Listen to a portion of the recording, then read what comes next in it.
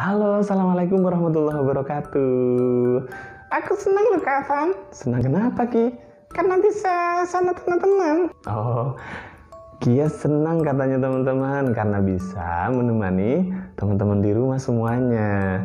Kak Afan juga berharap teman-teman baik semua ya Kia. Mm-mm, bisa belajar lagi. Bisa belajar lagi di rumah dengan nyaman.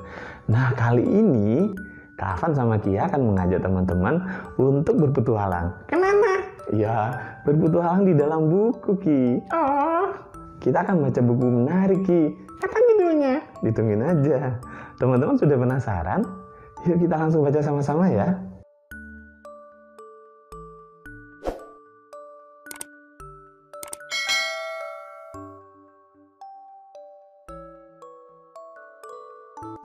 Teman-teman, kali ini kita akan membaca buku yang cukup menarik. Judulnya Rumah Burung Gatot Kaca. Buku ini ditulis oleh DB Lukito Guyardi dan ilustrator Zakia Soliha. Buku ini diterbitkan oleh Yayasan Literasi Anak Indonesia. Teman-teman juga bisa membacanya di literasicloud.org. Yuk kita lihat gambar sampulnya teman-teman. Wah, menarik sekali ya gambarnya. Ada beberapa burung yang terbang dan lihat. Hmm, barangkali ini Gatot Kaca ya. Ayo, sudah penasaran dengan ceritanya? Yuk, kita langsung baca bersama-sama.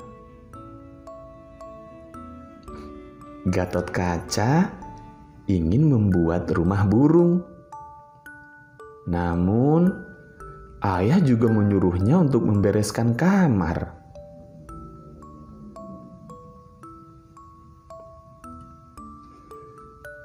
Gatot Kaca tidak akan sempat.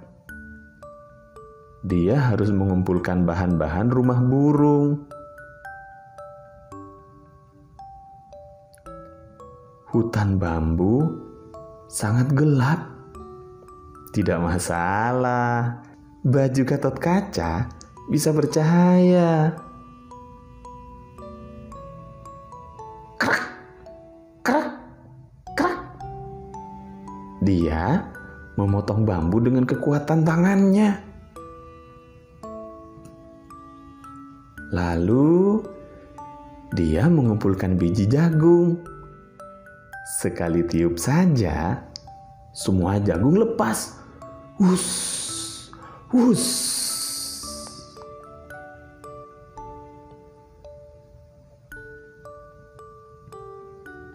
Banyak biji jagung berhasil dia kumpulkan. Sret, sret. Sekarang waktunya mengumpulkan batok kelapa. Batok kelapa cocok menjadi tempat makanan burung. Prak, prak, prak.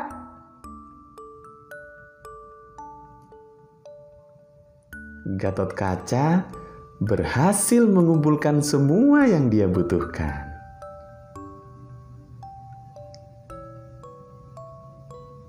Namun, ada sesuatu yang kurang. Di manakah tali panjangnya?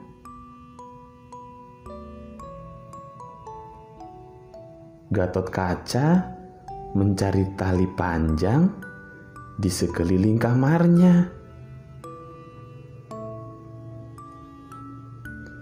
Sambil mencari tali, dia merapikan semua barang. Wah, Gatot Kaca menemukan tali panjangnya. Kamarnya pun menjadi rapi. Ayah merasa senang. Gatot Kaca mulai membangun rumah burung.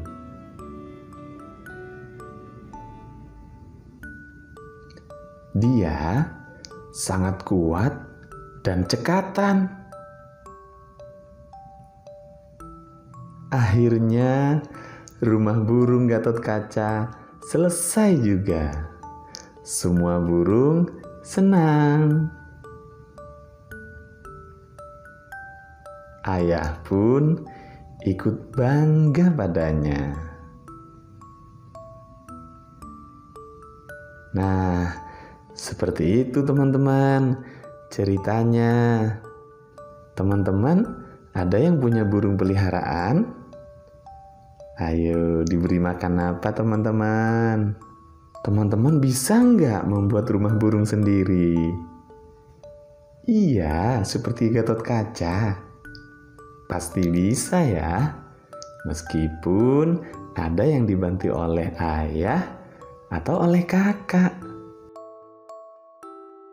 Oh, sedih Kafan. Kenapa Ki? Habis. Oh iya. Aduh, Kavan juga sedih karena ceritanya sudah habis. Tapi teman-teman senang kan dengan ceritanya tadi? Aku senang. Iya sama kayak Kia. Kia senang loh teman-teman. Nah, kalau misalnya teman-teman masih ingin membaca buku-buku cerita yang lain, pastikan terus di channelnya Kak Ahmad sama Kia ya.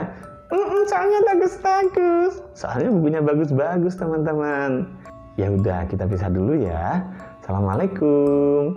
Dadah.